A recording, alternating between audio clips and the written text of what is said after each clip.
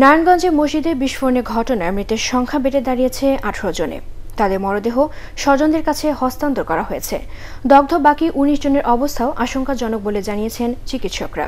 রাজধানীর শেখ হাসিনা জাতীয় বার্ন ও plastic surgery ইনস্টিটিউটে চিকিৎসাধীন বেশিরভাগেরই শরীরের আশি শতাংশ পর্যন্ত পুড়ে গেছে। আদিন সজীবের রিপোর্ট। আমার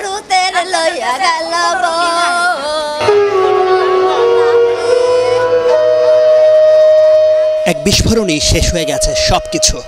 নিথর হয়েছে প্রিয় মানুষটি, মাথার উপর শেষ ছায়াটুকু সরে যাওয়ার আকস্মিকতায় পাগল প্রায় স্বজন।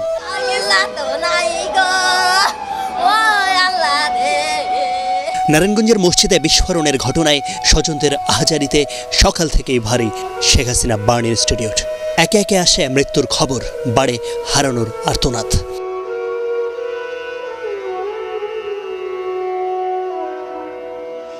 লালমনিরহাট থেকে দগ্ধ নয়নকে দেখতে ছুটে এসেছেন মা বুলবুলি।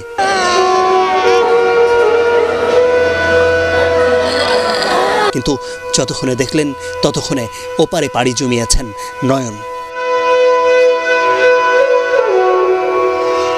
মাত্র ছ বছরের শিশু জুবাইরকে হারিয়ে হতবাক মা রাহেমা। দগ্ধ স্বামীর অবস্থাও আশঙ্কাজনক লড়ছেন মৃত্যুর সাথে।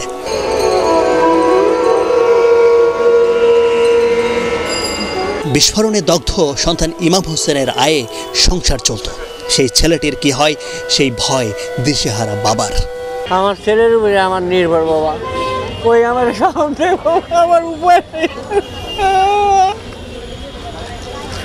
আমার নেই আমার নাই। আমার কি বাবা।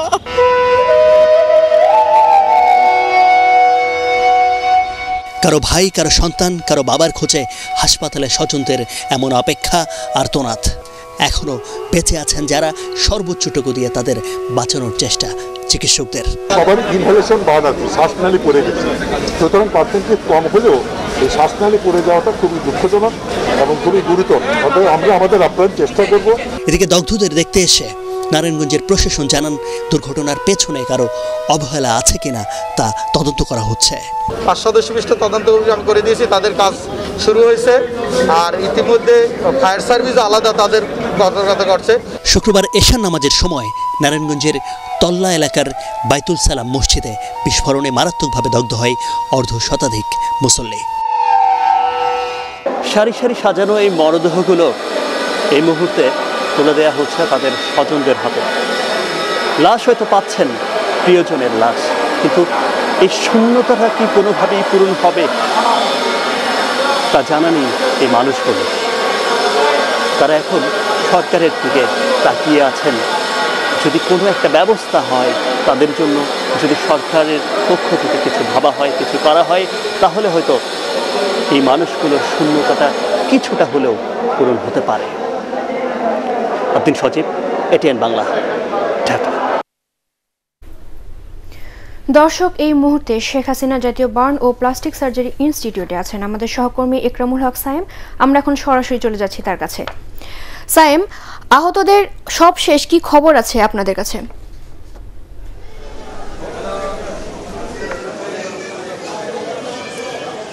চৈতি নারায়ণগঞ্জে মসজিদে বিস্ফোরণের ঘটনায় যে মুসল্লিরা অগ্নিদগ্ধ হয়েছেন, তাদের মৃত্যুর সংখ্যা কিছুক্ষণ পরপরই বাড়ছে।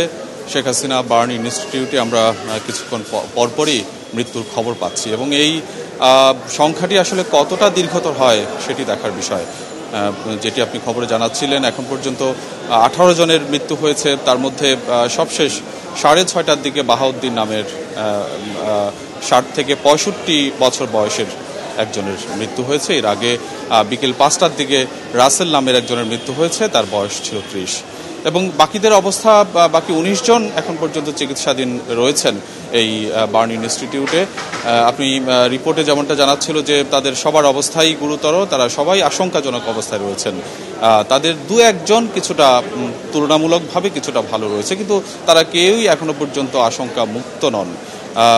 বেশিরভাগেরই শ্বাসনালী পুড়ে গেছে। আপনি জানেন যে শ্বাসনালি পুড়ে গেলে আসলে সেই ধরনের অগ্নিদগ্ধ রোগীদের বাঁচানো খুবই কঠিন কাজ এবং তাদের শরীরের বিভিন্ন অংশ পুড়ে আসলে ক্ষতবিক্ষত হয়ে গেছে। আমরা এখানকার স্বাস্থ্যকর্মীদের মাধ্যমে জেনেছি যে আসলে অনেকের এই অগ্নিদগ্ধ শরীর থেকে এখনও রক্ত ঝরছে এবং এই রোগীদের চিকিৎসায় তাদেরকে বাঁচানোর জন্য আপ্রাণ চেষ্টা করছেন এখানকার চিকিৎসকরা। কিন্তু কতটুকু পারবেন সেটি দেখার বিষয়।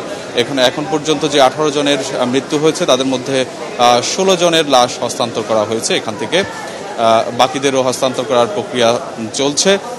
আপনি জানেন এখানে আসলে আহত এবং নিহতদের স্বজনদের অবস্থা কি হতে পারে সেটি আপনি বুঝতেই পারছেন।